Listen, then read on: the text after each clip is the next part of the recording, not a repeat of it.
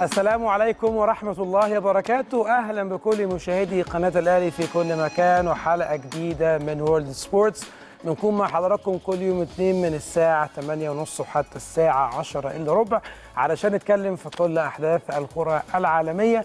وكالعادة دوري إنجليزي مشتعل. عودة محمد صلاح للصناعة والتسجيل وغياب ماني مفيش شك طبعا إن محمد صلاح واحد من أهم أسباب تألق ليفربول في الفترة الأخيرة لكن الكل اتكلم وانتقد نجمنا المصري وقال إن محمد صلاح ابتعد عن النجومية وابتعد عن التهديف لكن بيعود بقوة مع يورجن كلوب في مباراة ليفربول الأخيرة علشان يصنع هدف رائع جدا لنابي كيتا وأيضا يسجل هدف ولا أروع منه غياب ماني وكل عارف سياسة يورجن كلوب في ال rotation وإنه داخل على بطولة مهمة وهي كأس العالم للأندية وبالتالي حابب إنه يوزع الحمل البدني على كل اللعيبة.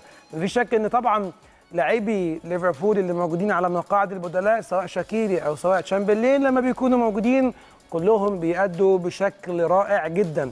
علشان كده لما نشوف محمد صلاح بيغيب لمباراة وساديو ماني بيلعب والعكس صحيح لما ماني يكون موجود على مقاعد البدلاء وصلاح هو اللي موجود فلازم نكون عارفين إن يورجن كلوب دايما بيبص على يعني سياسة rotation وسياسة راحة اللاعبين كلهم في اللقاءات اللي جاية علشان داخلين على حاجتين مهمين جدا. أول حاجة داخلين على أحداث الكريسماس وداخلين على ماتشات تقيلة جدا للدوري الإنجليزي وخاصة لفريق ليفربول اللي بيكون دايما في الكريسماس وفي ال New Year's كلنا عارفين ال Boxing Day. وأيضا داخلين على بطولة مهمة جدا. أعتقد إن ليفربول محتاج إنه يختم سنة 2019 بثالث لقب ليه في هذه السنة بفوزه بكأس العالم للأندية.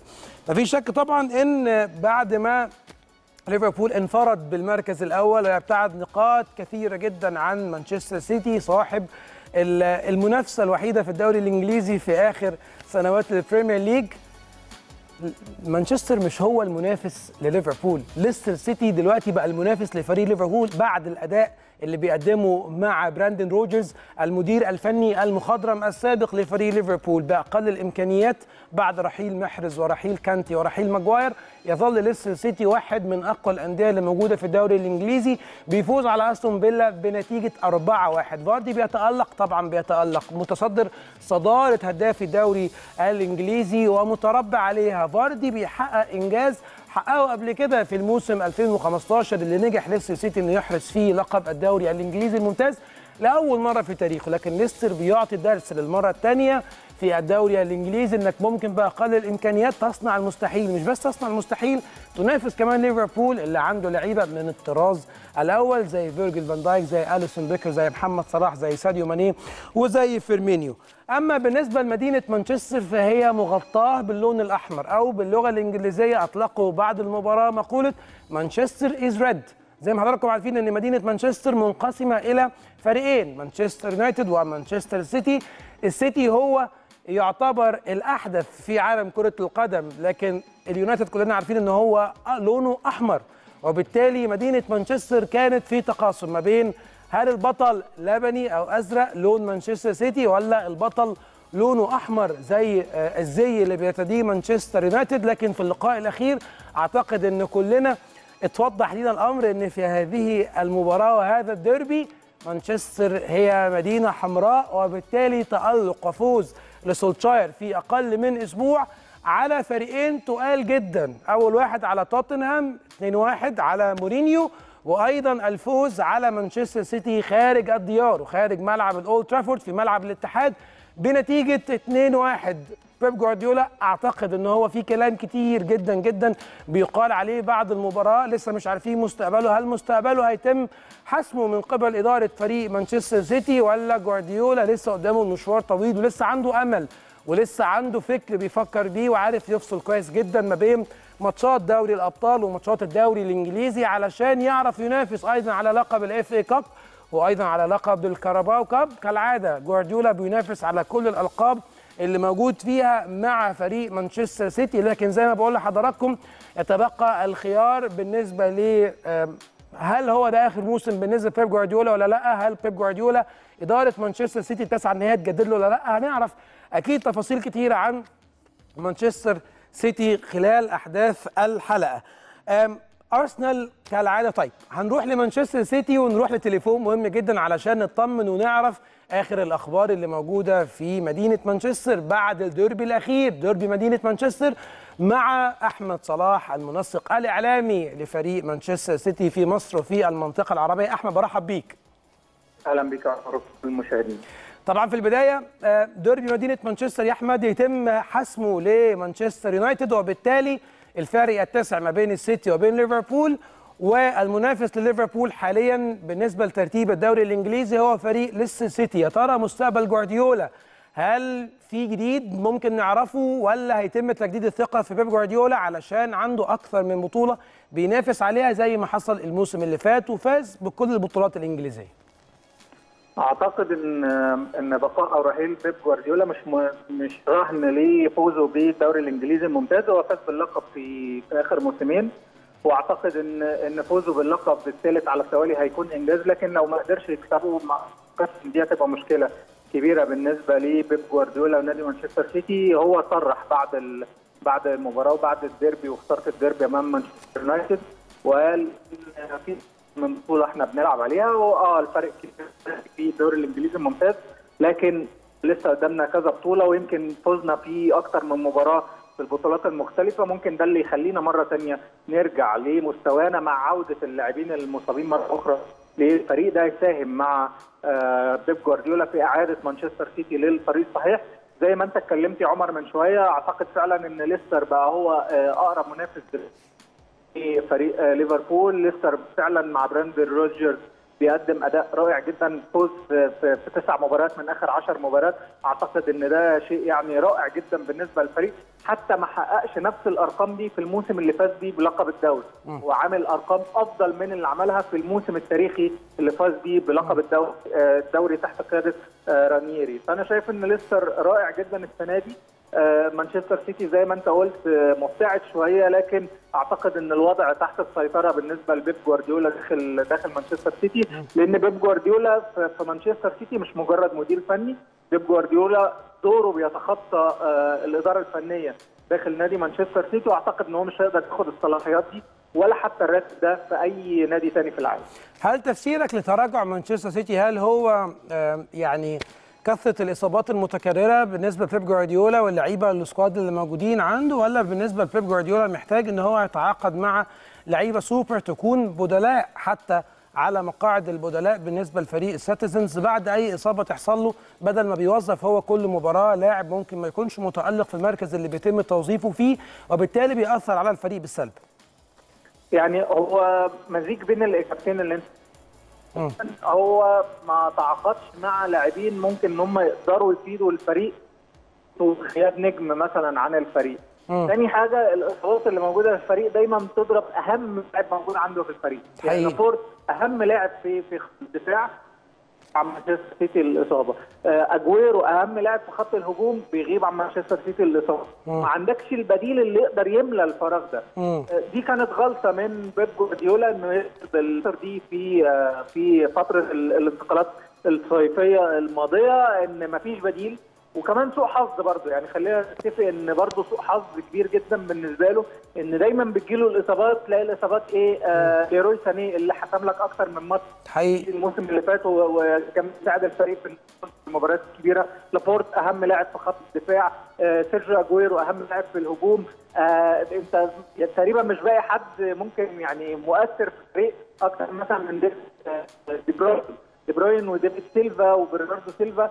فانت عندك اصابه كمان وممكن تقريبا يبقى نص العناصر الأساسية اللي موجودة عندك في الفريق غايبة للإصابة. فانا اعتقد إن هو واجهه سوء حظ كبير جدا. علاوة على تألق برضو خلينا نتكلم برضو بحيادية إن ليفربول مقدم موسم استثنائي. يعني أنت بتوصل أيه. للمرحلة دي وتعادل في مباراة واحدة. دي تقريبا من المرات النادرة جدا بالنسبة لي إن أنا اشوفها بتحصل في الدوري الإنجليزي.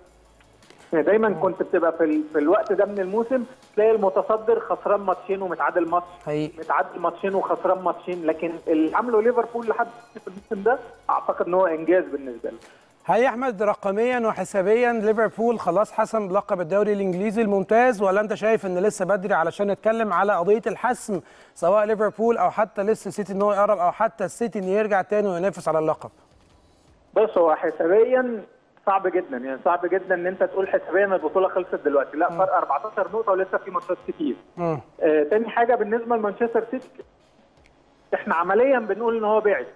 لكن مشجعين مانشستر سيتي نفسهم بيقول لك لا اللي إحنا شفناه مع الفريق في الموسمين اللي فاتوا يخل... والموسم كمان بتاع بتاع كوينز بارك رينجرز والفوز في آخر لحظة في تمام. في اجويرو يخليك تفكر وتخلي عندك أمل لآخر لحظة في الدوري. وشفت يمكن أكتر من تعليق من جمهور مانشستر سيتي في الفترة الف... الأخيرة إن إحنا مش قادرين نفقد الثقة ومش قادرين نفقد الأمل في الفريق لأن الفريق ده دايما عودنا إن هو راجع فأعتقد ان إن دي حاجة جيدة قدر يبنيها مانشستر سيتي في السنين الأخيرة. يعني ممكن تفكرنا شوية بالنادي الأهلي. النادي الأهلي برضو مهما متأخر ومهما بعد في ترتيب جدول الدوري جمهوره بيبقى عنده أمل لحد آخر لحظة إن هو لا هيرجع تاني. وحتى لو متأخر في نتيجة المباراة لحد الدقيقه 90 أنت بيبقى عندك أمل إن فريقك هيرجع تاني. أعتقد إن اللي بناه مانشستر سيتي في آخر 10 سنين قدر يحط الفريق في المكانة دي ويخلي جمهوره فعلا متمسك بالأمل لحد اللحظة الأخيرة. افريقيا يا أحمد هل تعتقد إن محمد صلاح يقدر يحسم اللقب أفضل لاعب في أفريقيا ولا ساديو ماني بالموسم الاستثنائي اللي بيقدمه سواء مع منتخب السنغال وقيادته للمباراة النهائية في كأس الأمم الأفريقية الأخيرة اللي الجزائر فازت بيها أو حتى مع فريق ليفربول كونه كواحد من أبرز الهدافين للدوري الإنجليزي وفريق ليفربول وأيضا في صناعة الأهداف. هل ماني يقدر ان هو يحسم اللقب من مصر؟ زي ما صلاح حسم اللقب من السنغال في آخر مرة ولا مين الأقرب من وجهة نظرك؟ تبعدت محرز أنت.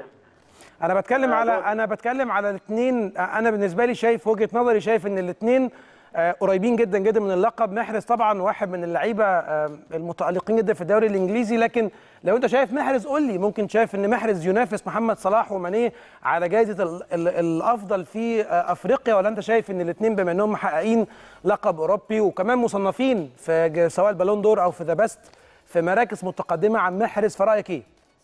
بالظبط. بص أنا أتمنى طبعا محمد صلاح هو اللي يفوز باللقب. لكن بالنظر للموسم اللي فات أنا شايف إن إن ساديو ماني ورياض محرز عملوا موسم يعني تاريخي. تمام. يعني ساديو ماني يفوز بدوري أبطال أوروبا ويوصل لنهائي يوصل لنهائي أفريقيا مع منتخب السنغال. رياض محرز يفوز بأربع بطولات مع مانشستر سيتي ويتوج بلقب كأس أفريقيا. فأعتقد إن من وجهة نظري الشخصية إن المنافسة هتبقى ما بين اثنين ما بين ساديو ماني وما بين آه محرز. ما قلتش أنت السوبر الأوروبي؟ ما قلتش السوبر الأوروبي أنت؟ مع ليفربول؟ آه ساديو ماني. طبعا ما بيتحسب بيتحسب لصلاح ويتحسب لماني. هل انت هل أنت شايف كمان لقب كأس عالم أندية لو ليفربول قدر يحققه يا أحمد ده يضيف من أو يرجح كفة ساديو ماني في الفوز باللقب كأفضل لاعب في أفريقيا أيضا؟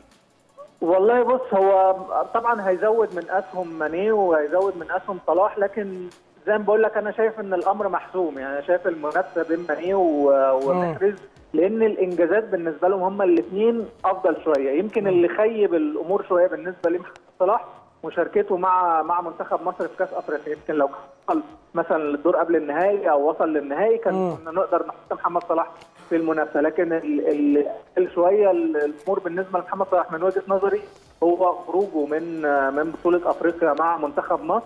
ودي برضو اللي أضافت لماني ومحرز من وجهة نظري في المنافسه على اللقب. خلي بالك إن إحنا بنتكلم على جائزه أفضل لاعب في أفريقيا. فأنت. لازم تحط في الاعتبار كأس أمم أفريقيا صح. في الفوز باللقب. حقيقي. أحمد بشكرك شكرا جزيلا على وجودك معايا. يعني اتكلمنا بتفصيل عن مانشستر سيتي وفرص فريق ال Citizens في مشوارهم في الدوري الإنجليزي. أحمد صلاح المنسق الإعلامي لفريق مانشستر سيتي في مصر في المنطقة العربية. هنكمل مع حضراتكم باقي الأخبار وباقي الأحداث. اتكلمنا على خسارة أرسنال أمام برايتون أرسنال للخسارة أو التعثر الثاني على التوالي مع لوينبرج المدير الفني المؤقت ولاعب أرسنال السابق. أرسنال جمهوره الله يكون في عونه. بيخرجوا من أزمة يدخلوا في أزمة وهم ابدا مش طرف في الموضوع الإدارة هي اللي طرف واللعيبة هي اللي طرف لكن جمهور أرسنال لا يستحق ابدا المعاناة في الفترة الأخيرة مع واحد من أساطير الفرق اللي موجودة في إنجلترا تاريخ كبير جدا اتكتب وهيفضل يتكتب مع فريق بحجم ونجومية نادي أرسنال. أعتقد إن كل جواد بيكون ليه كبوة والأيام اللي جاية أعتقد إن إدارة أرسنال محتاج إنها تحسم الأمر في تعيينها لمدير فني يقود ويسحب فريق أرسنال من دوامة الهزايم والتعادل المخيب ابدا اللي, اللي دايما بيلاقي فريق أرسنال خلال مشواره الأخير سواء مع يوناي إمري أو حتى مع فرانك لينبرج هنشوف أرسنال هيعمل إيه لكن طبعا الأمور متوقفة على الإدارة. بعد اللقاءات اللي هتكون في ال Europa League يوم الخميس اللي جاي ملعب جوديسون بارك ملعب إيفرتون بتعود الأفراح ليه من جديد بعد الفوز المهم جدا والغالي على تشيلسي 3-1 كلنا تابعنا مباراة إيفرتون أمام فريق ليفربول والخسارة بخمس أهداف. طبعا تم إقالة المدير الفني و تعيين مدير فني مؤقت. المدير الفني المؤقت شفنا الروح الكبيرة جدا اللي اللي, بي اللي بينشرها داخل اللعيبة وداخل غرف خلع الملابس اللي اتعكست على اللعيبة داخل الملعب وقدروا إن هم يعني فوز مستحق على تشيلسي وعلى فرانك لامبارد اللي فرانك لامبارد عنده أخبار جيدة جدا ظهرت خلال الأيام اللي فاتت إن المحكمة الرياضية بتسمح لنادي تشيلسي بالتعاقد في فترة الانتقالات الشتوية القادمة وبالتالي طبعا بيتفك الحصار اللي كان مفروض على نادي تشيلسي علشان لامبارد يكون عنده كل الاختيارات اللي ممكن يتعاقد معاها خلال ال transfer window الشتوي اللي هيبدأ بعد أسابيع قليلة جدا. أما طبعا مورينيو بيحقق الفوز بخماسية على بيرنلي. طبعا آخر لقب أو آخر نتيجة حققها مورينيو بخمس أهداف كانت في 2015 في الدوري الإنجليزي لكن المباراة كان فيها شيء أعتقد ان هو أحسن هدف في الدوري الإنجليزي الموسم الحالي وهو هدف سون اللي قدر يرقص فيه كل اللعيبة اللي موجودين في الملعب. هدف تاريخي هدف مارادوني هدف على طريقة رونالدو الظاهرة. وبالتالي سون ومورينيو يتألقوا في الدوري الإنجليزي. الدوري الإيطالي يوفنتوس يتعادل مع روما لكن بالرغم من يوفنتوس عفوا بلاتسيو لاتسيو لاتسيو كسب 3-1 فريق يوفنتوس بيفك عقدة أعتقد من 16 سنة. لاتسيو لم ينجح ابدا في الفوز على ملعب الأولمبيكو ضد اليوفنتوس. علشان كده بقول لحضراتكم اليوفنتوس الموسم ده مع ساري موقفه سيء جدا جدا. العلاقة ما بين ساري وبعض اللعيبة ليست جيدة. رونالدو مش مش في أفضل حال وبالتالي اللي ما كانش عاجبه أليجري ممكن ما يعجبوش كمان ساري وهتبقى مشكلة كبيرة بالنسبة ليوفنتوس خلال ال Champions League. ممكن الإنتر ياخد الدوري. طبعا ممكن انتر ياخد الدوري. كونتي بشخصية كونتي وطريقة كونتي لكن كونتي كان زعلان جدا وكان متضايق جدا وعصبي جدا على لعيبته بعد مباراة إنتر وروما اللي روما بيتعادل فيها على ملعب الإنتر بدون أهداف. فوز كان هيبقى مهم الانتر في ظل خسارة يوفنتوس إنه يفرق عن فريق انتر بعدد من النقاط لكن في ظل تعادل يوفنتوس في ظل تعادل انتر وروما عفوا وفوز فريق آآ آآ لاتسيو على يوفنتوس 3-1 فرق النقاط يتبقى نقطتين فقط ما بين الفريقين الدوري الإيطالي مشتعل الدوري الإيطالي قوي السنة دي الدوري الإيطالي فيه منافسة شديدة جدا جدا جدا. مفيش شك طبعا على على الناحية الثانية عندنا في الدوري الإسباني فوز مهم جدا لريال مدريد و يعني فوز أهم لفريق برشلونة علشان. عشان الاثنين يفضلوا في سباق قوي يتساووا مع بعض في عدد النقاط في الدوري الإسباني لكن أعتقد إن جائزه بوشكاش السنة اللي جاية كأفضل هدف في العالم محجوزة لسواريز أو اتحجزت لسواريز بعد الهدف التاريخي اللي قدر إنه يسجله. وكالعادة ميسي هنفضل نقول له المقولة الشهيرة لما قال الجسد لا يرحم. هو كان قصده أعتقد إن الجسد لن يرحم أحد من المنافسين وتخطى رونالدو في عدد الهاتريك علشان يوصل ل 35 هاتريك في الدوري الأسباني. يتخطى بيهم كريستيانو رونالدو مع ريال مدريد أو في وجود كريستيانو رونالدو في الدوري الأسباني. وميسي يتخطى رونالدو بالهاتريك رقم 35 في مسيرته الكروية في الليجا. طبعا خسارة جديدة لفريق بايرن ميونخ كالعادة من مونشن جلادباخ وفوز بروسيا دورتموند. طبعا مونشن جلادباخ فريق بيتألق الموسم ده لكن الصدارة محجوزة دايما لفريق لايبزيج اللي طبعا عنده إدارة وعنده يعني لعيبة عندها وعي وعندها حماس وعندها هدف. وعندهم طموح إن هم يحصلوا على لقب الدوري الألماني لهذا الموسم. الدوري الألماني كمان مختلف. بدأنا ندخل الألماني معاكم في في القصة وفي الحواديت علشان كنا دايما متعودين إن الدوري الألماني بيتم حسمه لفريق يا إما البايرن بنسبة 70% أو بروسيا دورتموند بنسبة 30% لكن الموسم ده أعتقد إن مونشن جلادباخ وكمان لايبزيج ليهم نصيب كبير جدا في المنافسة على لقب الدوري الألماني. وأخيرا طبعا قبل ما نروح للنتائج والجولات محمد صلاح وساديو ماني مرشحان بقوة للفوز بلقب الأفضل في أفريقيا. تم إعلان الأسامي لكن رياض محرز ومحمد صلاح وساديو ماني ثلاث أسماء مرشحين وبقوة للفوز باللقب اللي هيكون يوم 7 يناير إن شاء الله في القاهرة آه، في مصر. وإن شاء الله كلنا أمال وطموحات إن محمد صلاح يحسم اللقب الأفريقي حتى لو بعيد. مفيش حاجة بعيدة ابدا على ربنا سبحانه وتعالى. يلا نروح لأبرز النتائج في الجولات السابقة في الدورات الكبيرة والجولات القادمة ونتكلم على Champions League أو دوري الابطال وكمان ناخد الهدافين وجدول الترتيب. والبداية من الدوري الإنجليزي.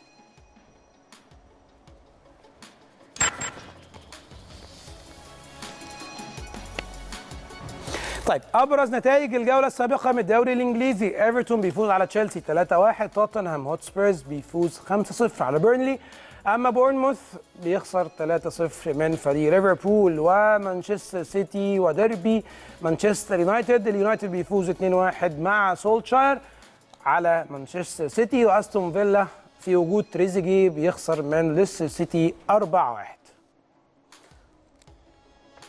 الجولات القادمة في الدوري الإنجليزي الممتاز يوم السبت 14 ديسمبر ليفربول أمام واتفورد في مواجهة قوية. تشيلسي في نفس اليوم مع بورنموث ويوم الحد مانشستر يونايتد أمام إيفرتون وولفرهامبتون أمام توتنهام هوتسبيرز. ويوم الأربع هيستكمل باقي اللقاءات في لقاء قمة أرسنال ومانشستر سيتي الساعة 6:30 يوم الأربعاء.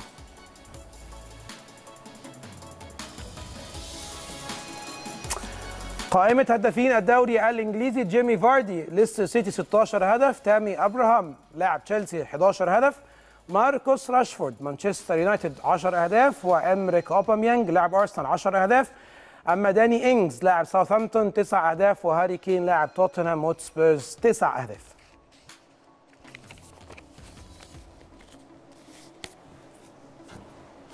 جدول ترتيب الدوري الإنجليزي ليفربول في الصدارة 46 نقطة. ليستر سيتي في المركز الثاني 38 نقطة. أما مانشستر سيتي في المركز الثالث 32 نقطة. تشيلسي في المركز الرابع 29 نقطة. ومانشستر يونايتد في المركز الخامس 24 نقطة.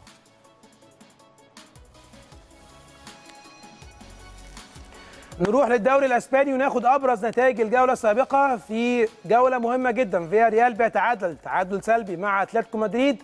ريال مدريد بيفوز على اسبانيول 2-0 وبرشلونة فوز كبير على ريال مايوركا 5-2 وريال بيتيس بيفوز على اتلتيك بلباو 3-2 وأوساسونا بيتعادل تعادل إيجابي مع إشبيلية هدف لكل فريق.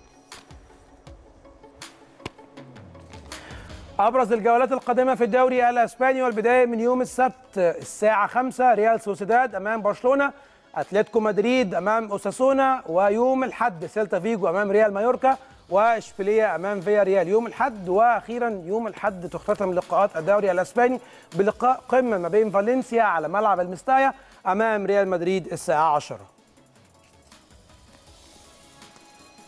قائمة هدافين الدوري الأسباني ميسي بيتخطى كريم بنزيما بعد الهاتريك الأخير اللي أحرزه في مباراة ريال مايوركا عشان يكون عنده 12 هدف في الصدارة. كريم بنزيما 11 هدف في المركز الثاني أما جيرارد مورينو لاعب فيا ريال في المركز الثالث 8 أهداف يتساوى معاه لوكاس بيريز مارتينيز لاعب ديبورتيفو ألافيس 8 اهداف معاهم لويس سواريز بعد الكعب العالمي والهدف اللي هياخد جائزه بوشكاش من دلوقتي. بقول لحضراتكم 8 أهداف وأخيرا لورينزو مورون لاعب ريال بيتيس 8 أهداف.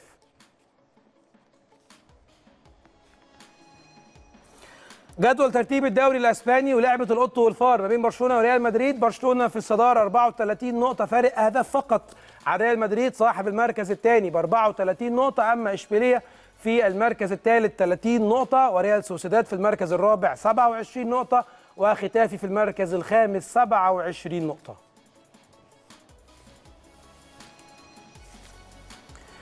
أبرز نتائج الجولة السابقة في الدوري الإيطالي إنتر ميلان بيتعادل سلبيا مع روما واللقاء اللي كان يوم الجمعة على ملعب سانسيرو أودينيزي بيتعادل ايجابيا أيضا مع نابولي 1-1 واحد واحد. لاتسيو الفوز التاريخي اللي اتأخر ل 16 سنة على ملعب الأولمبيكو أمام اليوفنتوس واللي كان بيمثل للاتسيو عقدة كبيرة جدا جدا مش عارف يكسب يوفنتوس ولا مباراة على ملعب الأولمبيكو اللي هو ملعبه ملعب روما لكن 3-1 فوز مستحق على اليوفنتوس. تورينو بيفوز على فيورنتينا 2-1 وبولونيا بيخسر 3-2 في يعني انتفاضة كبيرة جدا للميلان في الأيام الأخيرة. بثلاثة اتنين على بولونيا عجبني جدا جدا الميلان وأنا أعتقد إن هو بدأ إنه يكون ليه شكل وبدأ الميلان يحاول يرجع إلى مكانته الطبيعي في الدوري الإيطالي. الجولات القادمة في الدوري الإيطالي من يوم السبت نابولي وبارما الساعة 7 يوم الحد ميلان وساسولو يوفنتوس وأودينيزي روما وسبال فيورنتينا وإنتر ميلان نروح لقائمة هدافين الدوري الإيطالي. إيموبيلي كالعادة لاعب لاتسيو 17 هدف في الصدارة. لوكاكو لاعب إنتر 10 أهداف. يتساوى معاه جواو لاعب كالياري 10 أهداف. ولويس موريال لاعب أتلانتا 9 أهداف. ولوتارو مارتينيز لاعب إنتر ميلان 8 أهداف. ودومينيكو بيراردي لاعب ساسولو 8 أهداف. طيب ترتيب الدوري الإيطالي قبل ما نروح لماتشات دوري أبطال أوروبا اللي هتكون بكرة وبعده إن شاء الله. إنتر ميلان 38 نقطة في الصدارة. مركز ثاني يوفنتوس 36 نقطة. أما لاتسيو في المركز الثالث 33 نقطة.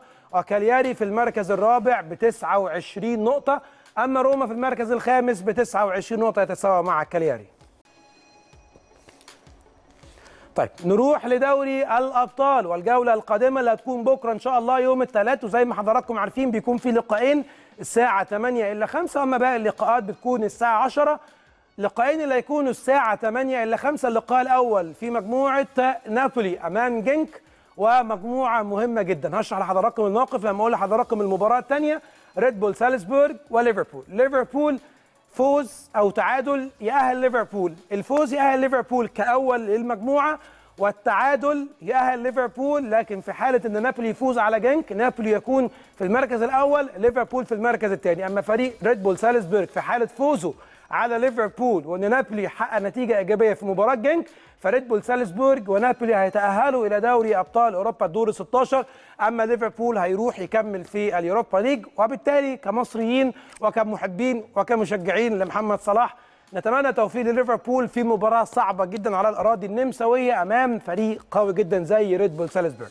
تستكمل باقي اللقاءات الساعة 10 تشيلسي أمام ليل، إنتر ميلان أمام برشلونة وبالمناسبة المباراة دي ميسي مش هيكون موجود بعد ما تم الإعلان رسميا على طبعا موقع رسمي لبرشلونة وإن تم الحسم إن خلاص برشلونة مطمن إن هو في المركز الأول وبالتالي فالفيردي حب إن هو يريح ميسي علشان الجولات القادمة سواء في دوري الأبطال أو حتى في الدوري الإسباني بما إن إحنا داخلين على عطلة كريسماس وبالتالي هو عايز كل العناصر تكون جاهزة بعد فترات التوقف. يوم الثلاث لسه مكملين اياكس امستردام أمام فالنسيا بوروسيا دورتموند أمام آه أمام سلافيا براغ وليون أمام لايبزيج وبنفيكا أمام زينت سان بطرسبرغ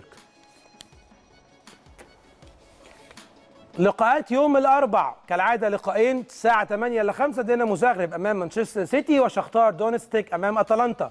أما لقاءات الساعة 10 فالبدايه من أتلتيكو مدريد ولوكوموتيف موسكو بايرن ليفركوزن أمام اليوفنتوس. بايرن ميونخ أمام توتنهام هوتسبيرز في لقاء أعتقد إن هو تار كبير جدا لمورينيو وفريق توتنهام بعد الخسارة المذلة من بايرن ميونخ على ملعب توتنهام. أما باريس سان جيرمان في مواجهة قوية أمام جالاتا سراي وكلوب روج أمام ريال مدريد وأولمبياكوس أمام ريد ستار بلجراد زي ما حضراتكم عارفين اسمه بيكتب باللغة الصربيه زيرفينا زفيزدا طيب. خلصنا معاكم كده تعالوا نروح بقى لإحصائيات الدوري الإنجليزي. عندنا شوية إحصائيات منها الدوري الإنجليزي ومنها شوية عن الدوري الإسباني وشوية منها عن الدوري الألماني. لكن كالعادة البداية ونصيب الأسد دايما بيكون للدوري الأكبر والدوري اللي كله اللي كله إحصائيات وأرقام. نروح للدوري الإنجليزي والبداية مع طيب أكثر اللاعبين تسجيلا للأهداف خلال ال 100 مباراة الأولى في ال Premier League. في الصدارة ألان شيرر 79 هدف يليه رود فان نيستلروي 68 هدف يليهم سيرجيو أجويرو 64 هدف ومحمد صلاح 63 هدف وفرناندو توريس 63 هدف وأندي كول 63 هدف. يعني محمد صلاح في بيجي في المركز الرابع في تاريخ الدوري الإنجليزي اللي من خلال 100 مباراة بيسجل فيهم أكبر عدد من الأهداف وهو 63 هدف. بعد صاحب المركز الأول 79 هدف ألان شيرر. طبعا المدربين أو المديرين الفنيين الأسرع للوصول للانتصار رقم 100 في ال Premier League. في الصدارة جوزيه مورينيو بعد 142 مباراة بيحقق الفوز رقم 100 يورجن كلوب في المركز الثاني بعد 159 مباراة بيحقق الانتصار رقم 100 أليكس فيرجسون أو السير أليكس فيرجسون 162 مباراة علشان يوصل للانتصار رقم 100 وأخيرا أرسن فينجر 179 مباراة علشان يوصل للانتصار رقم 100 في الدوري الإنجليزي. طيب ده عدد أهداف اللاعبين العرب في ال Premier League. طبعا مصر في الصدارة 108 هدف سجلها 8 لعيبه المغرب في المركز الثاني 83 هدف سجلها 14 لاعب. أما الجزائر في المركز الثالث ب 82 هدف بتفرق هدف واحد عن المغرب.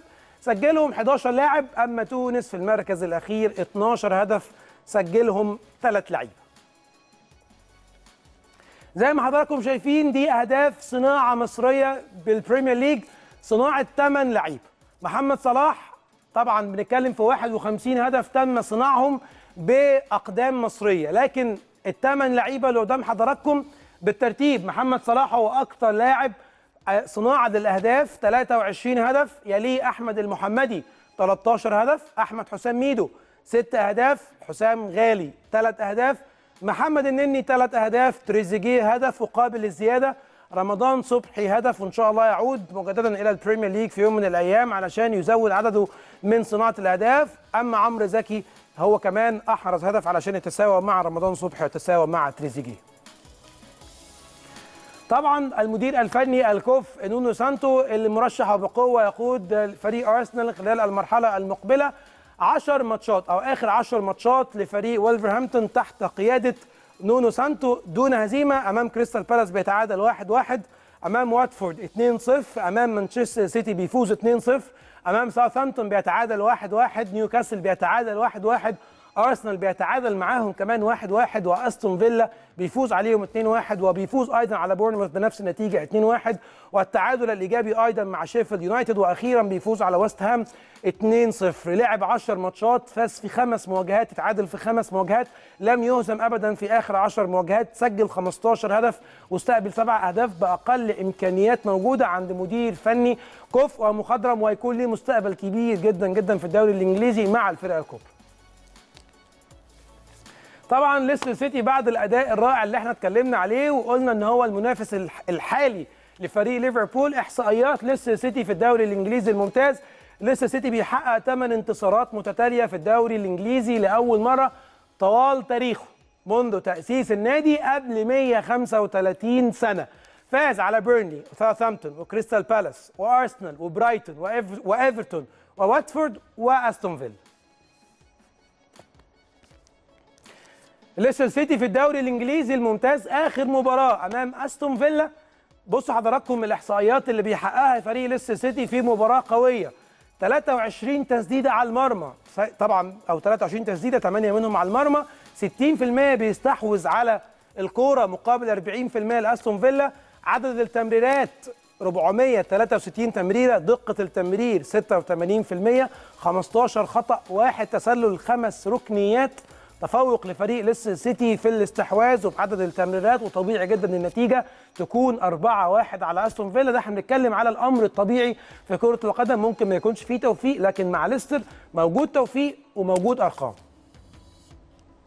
طبعا جيمي فاردي الأسطورة الإنجليزية اللي بيقاتل وبقوة علشان يكون موجود في تشكيلة جارث ساوث جيت المدير الفني لمنتخب إنجلترا في التشكيلة الرئيسية واللي بينافسوا معاه اثنين كبار جدا واحد زي تامي إبراهام لاعب تشيلسي وأيضا واحد زي هاري كين لاعب توتنهام والاثنين بينافسوا جيمي فاردي اللي زي ما حضراتكم شايفين. لعب 16 مباراة سجل 16 هدف وصنع ثلاث أهداف هداف الدوري الإنجليزي حتى الآن. تاريخ مواجهات ديربي مدينة مانشستر. لازم نتكلم على مدينة مانشستر يونايتد ومانشستر سيتي واللي المدينة اللي مقسومة باللونين الأحمر واللبني لكن بعد المباراة الأخيرة اللي كانت على ملعب الاتحاد مدينة مانشستر قلنا اتغطت باللون الأحمر. عدد الماتشات اللي لعبوها ضد بعض 157 مباراة. مانشستر فاز في 62 مباراة ومانشستر سيتي فاز في 45 مباراة. أما التعادل 52 مرة آه للفريقين حققوا فيهم التعادل. لكن زي ما حضراتكم شايفين الغلبة لفريق مانشستر يونايتد اللي دايما بيكون متفوق واللي كعبه عالي على فريق مانشستر سيتي. طبعا دي نتائج مانشستر يونايتد أمام الكبار في الدوري الإنجليزي. ليفربول بيتعادل معاهم واحد واحد.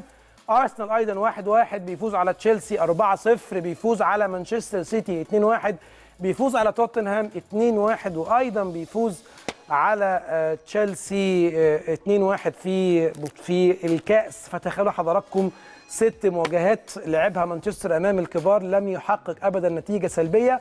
مانشستر مشكلته أعتقد إن هي في آه، شوية تظبيطات كده في السكواد اللي موجود شوية لعيبة ممكن تقود فريق مانشستر للفوز بدوري الإنجليزي إذا توفرت في الأيام اللي جاية وأيضا عدم التخلي عن أي نجم من نجوم فريق مانشستر. ده يساهم بشكل كبير في عودة مانشستر لمكانته الطبيعية. خصوصا إن هو ما عندوش مشاكل ابدا في الفوز أو تحقيق أي نتائج إيجابية مع الفرق الكبيرة. طبعا جوزيه مورينيو لازم نتكلم عليه بعد الفوز اللي حققه بخمس أهداف مقابل آه، لا شيء أمام بيرنلي مورينيو بيحقق أول انتصار ليه أو بيحقق تاني انتصار ليه بخماسية منذ يناير 2015 بعد ما حقق مع تشيلسي الفوز بنفس النتيجة على سوانزي في الدوري الإنجليزي الممتاز ودي المرة الأولى لمورينيو مع توتنهام اللي يخرج فيها بشباك نظيفة خلال خمس مباريات. طبعا جون تيري واحتفال بعيد ميلاده رقم 39 لازم نتكلم عن الأسطورة الإنجليزية كابتن تشيلسي وكابتن المنتخب الإنجليزي في يوم من الأيام. لعب 759 مباراة 681 مباراة على المستوى المحلي 78 مباراة على المستوى الدولي. سجل فيهم 74 هدف نسبة كبيرة جدا جدا جدا بالنسبة لواحد بيلعب في قلب الدفاع. جون تيري حقق خمس ألقاب دوري إنجليزي ممتاز مع تشيلسي خمس ألقاب FA Cup ثلاث ألقاب League Cup واثنين لقب الدرع الخيرية واحد لقب دوري أبطال أوروبا ولقب واحد الدوري الأوروبي. نروح لشويه إحصائيات في الدوري الأسباني خاصة بكريم بنزيما ريال مدريد وأول فريق في تاريخ الليجا الأسبانية يصل إلى 1700 انتصار في الدوري الأسباني. وكريم بنزيما نجم الريال في الفترة الأخيرة بيسجل 11 هدف ويصنع خمس أهداف. الدوري الألماني واللاعب ده وخلي بالكم منه حضراتكم احفظوا الاسم كويس قوي تيمو فيرنر لاعب نادي لايبزيج الألماني لعب 15 لعب 14 مباراة سجل 15 هدف وصنع خمس أهداف. أول لاعب يصل إلى المساهمة في 20 هدف هذا الموسم. تذكروا هذا الاسم جيدا جدا علشان هيكون عنده مستقبل كبير جدا في الكرة العالمية. طيب. دلوقتي جه وقتنا مع مباراة تاريخية. مباراة مهمة جدا في الدوري الفرنسي في موسم 2009 2010 الدوري الفرنسي لازم أو أكيد في ماتشات أعتقد إن حضراتكم تستحق إن إحنا نتابعها ونفكر كل السادة المشاهدين بيها.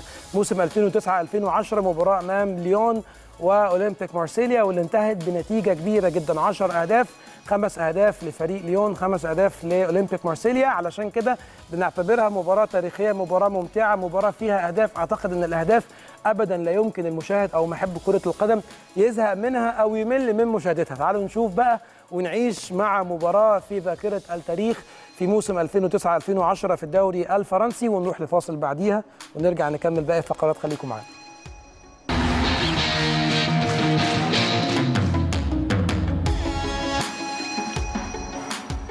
أهلا بحضراتكم من جديد ولسه مكملين معاكم سريعا. هنستعرض شوية أخبار قبل ما نروح لنجم الأسبوع والبداية من لويس سواريز وهدفي في مايوركا الأفضل في مسيرتي. لويس سواريز نجم نادي برشلونة أعرب عن سعادته بعد الفوز الكبير اللي حققه برشلونة أمام ريال مايوركا بخمس أهداف مقابل اثنين ضمن منافسات الجولة رقم 16 من الليجا في ملعب الكامب نو. سواريز قال لتصريحات لصحيفة ماركا. هدفي انه الافضل في مسيرتي كانت لدي زوايا صغيرة للتسديد لذلك قررت التصويب بالكعب بهذه الطريقة حيث منحت حارس المرمى خيارات أقل ليتصدى للكرة. مدرب مايوركا ميسي مثل أي لاعب آخر دخل ليونيل ميسي نجم برشلونة في نقاش ساخن مع ديسانتي مورينو المدرب ريال مايوركا. وده في خلال مواجهة الفريقين في الجولة رقم 16 في الدوري الأسباني واللي انتهى بفوز البارسا 5-2 مورينو قال في تصريحات أبرزتها صحيفه ماركا الأسبانية هناك بعض اللاعبين الذين هم داخل فقاعة ولا يمكنك التحدث معهم. أضاف مدرب مايوركا أنه لاعب مختلف في بعض الأمور ولكن في جوانب أخرى هو هو شخص مثل أي لاعب آخر ويجب معاملته على هذا النحو. ميسي يفض الشراكة مع رونالدو ميسي بيسجل ثلاثية هاتريك في. في الدقائق 17 41 83 علشان يصبح الأكثر تسجيلا للهاتريك في تاريخ الدوري الأسباني ب 35 هاتريك وميسي طبعا تخطى وحطم رقم البرتغالي كريستيانو رونالدو نجم ريال مدريد السابق صاحب ال 34 هاتريك راشفورد وتصريح بعد الفوز على ريا على مانشستر سيتي. اللعب بشكل دائم هو سر تألقي مؤخرا ماركوس راشفورد نجم مانشستر قال السر وراء تألقه اللافت للنظر في آخر لقاءاته مع مانشستر يونايتد. قال إن اللعب أو إن هو بيلعب مهاجم بالنسبة له بشكل ليه دور كبير جدا. لعب كل مباريات الدوري هذا الموسم في هذا المركز ودايما بيتحصل على فرص دائمة للتسجيل. قال عندما تشعر بحالة جيدة أمام المرمى تتحصل بالتبعية على فرص دائمة للتسجيل ولا يهم حينها إن أهدرت بعض منها.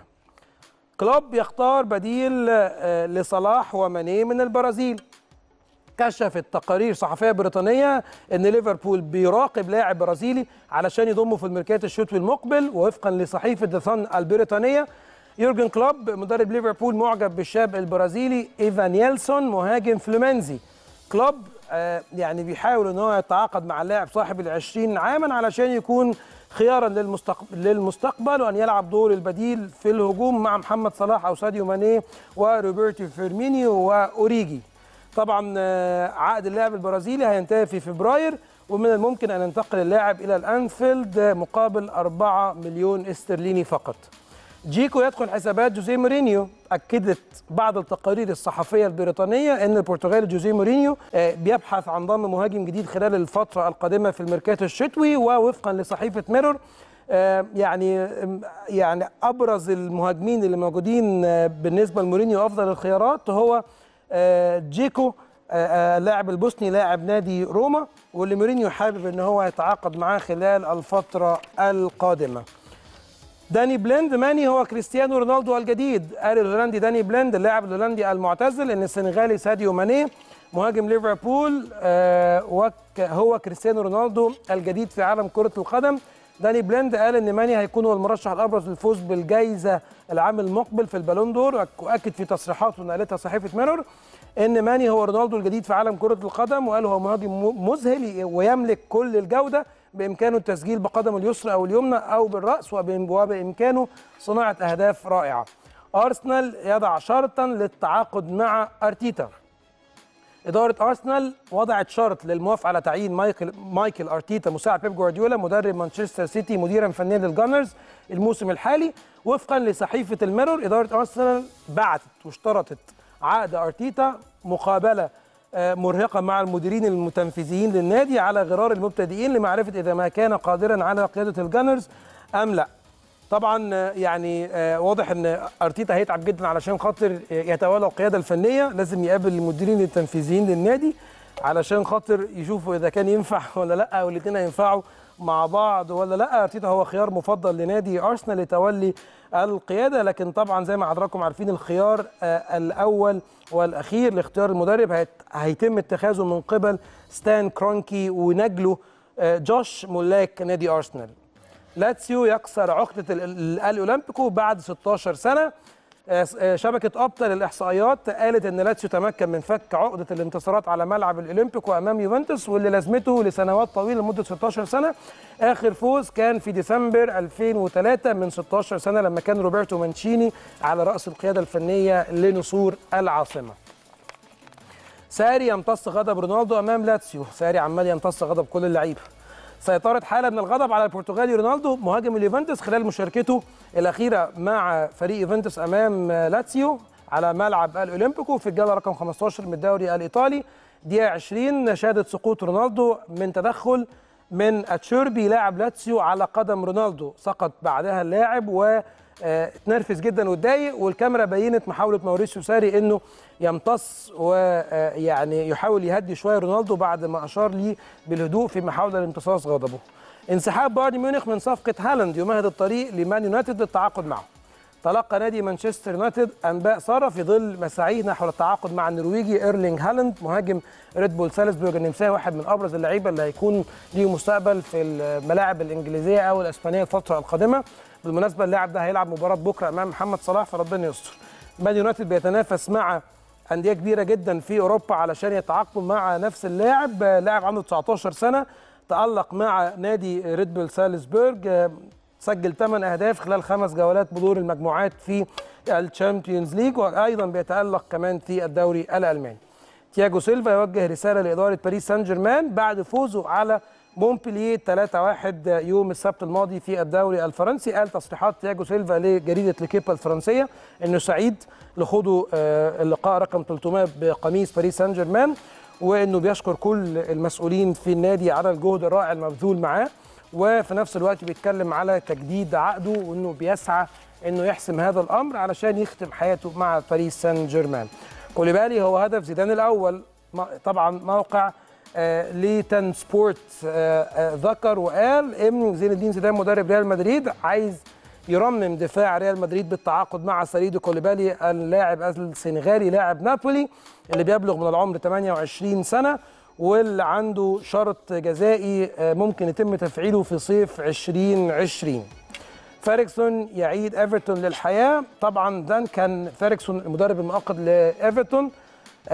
يعني تألق في مباراته الأخيرة مع إيفرتون ضد تشيلسي وفاز عليهم 3-1 والمدير الفني ده مؤقت لكن يا ترى هل يستمر ولا لأ؟ ده متوقف على على النتائج. لكن في أغلبية المواقف لما المدير الفني بيتألق ونتائجه بتكون إيجابية أعتقد إن هو بيكمل.